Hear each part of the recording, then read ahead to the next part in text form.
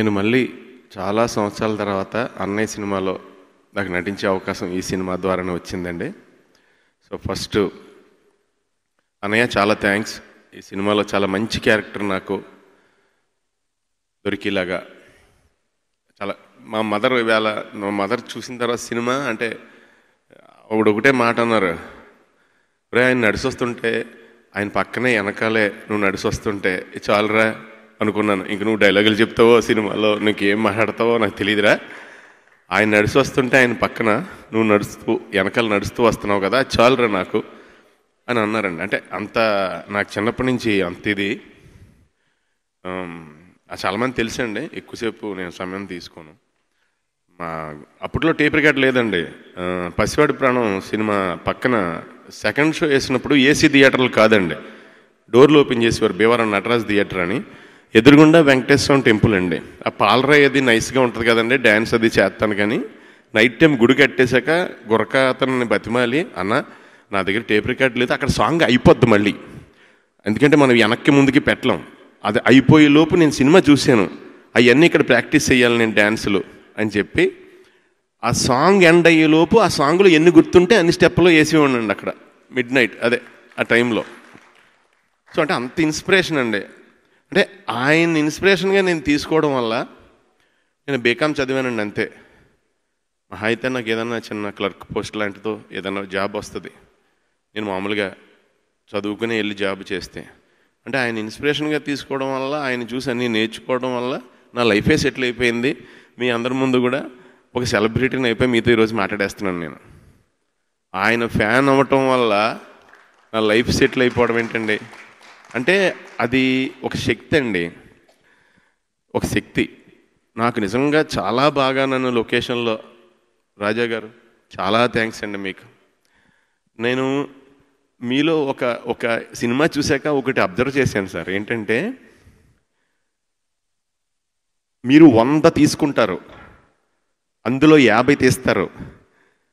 యాభై ఏరతారు. మళ్ళీ అందులో పాతిక ఏరతారు. మళ్ళీ అందులో పది ఏరతారు. మళ్ళీ అందులో రెండు ఏరతారు. మీకు కావాల్సింది ఒకటి. అంత శ్రేష్టంగా జాగ్రత్తగా ఈచ్ అండ్ ఎవ్రీ షాట్ నేను చాలా బాధపడతా ఉండేవాడిని.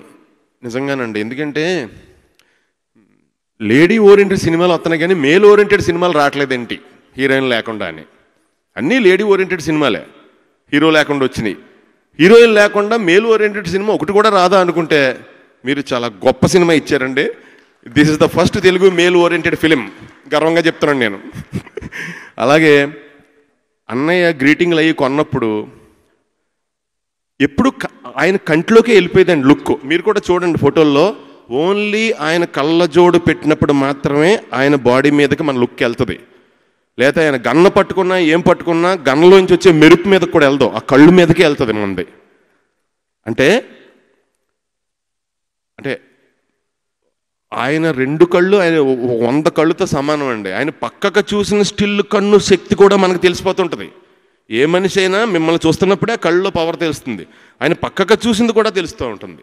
సో ఆ కళ్ళతోనే ఆ కళ్ళకే మంచి పని పెట్టి అసలు ఆ స్టేచర్ మెయింటైన్ నాకు చాలా తృప్తికరమైన సినిమా అండి ఇది. ఏంటంటే ఒక ప్లెయిన్ షర్ట్.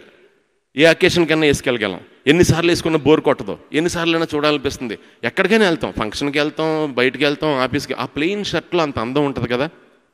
అంత ప్యూర్గా ఉందండి సినిమా.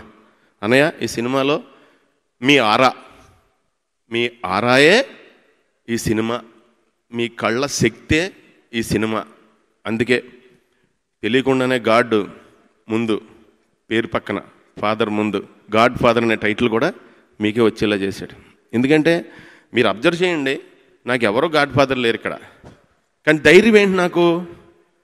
అన్నయ్యని చూసి. అంటే ఆయనకి ఎవరో గాడ్ ఫాదర్ లేకుండా వచ్చారు ఆయన. అంటే ఏ గాడ్ ఫాదర్ లేనోడికి గాడ్డే ఫాదరు. అంతకంటే పెద్ద ఫాదర్ ఇంకెవరికి ఉండరు. అనే అనే అంత నమ్మకాన్ని మనకు కలిగించి చాలామంది జీవితాలు అంటే ఒక సినిమా రిలీజ్ అయితే నేను మామూలుగా అందరూ అంటారు కదా ఏం చేస్తారు అన్నయ్య అద్భుతంగా అద్భుతంగా యాక్ట్ చేసి ఆయన కాళ్ళు ఇరగొట్టుకుని ఆయన చెయ్యి ఇరగొట్టుకుని రక్తం గారుతున్న జ్వరం వచ్చినా ఏమీ పట్టించుకోకుండా సినిమా చేస్తే ఒక మనిషి అంత బాగా ఒక ప్రొడక్ట్ని ప్రేమగా చేస్తే దాని మీద కొన్ని కోట్ల మంది బతుకుతారు. సైకిల్ స్టాండ్ కాడి నుంచి సినిమా టికెట్లు అమ్మే వాళ్ళ కాడి నుంచి వాళ్ళ ఫ్యామిలీ కాడి అంటే ఇన్ని ఇన్ని ఇంతమంది ఫ్యామిలీలకి భోజనం పెడుతూ ఎప్పుడు మీరు అదే ఉత్సాహంతో అదే కష్టంతో ఇప్పటికీ అలాగే కష్టపడుతూ చాలామందికి జీవితంలో స్ఫూర్తి అయ్యి వాళ్ళ జీవితానికి ఒక అండగా ఉన్నందుకు మీకు నిజంగా రెండు చేతులు దండం పెడుతున్నాను అన్నయ్య